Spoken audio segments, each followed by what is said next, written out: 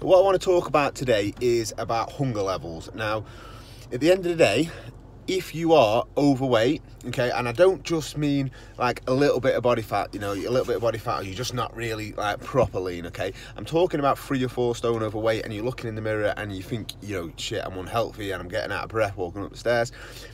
Then it has absolutely nothing to do with hunger. You are not hungry, okay. You're not just more hungry than other most people, okay.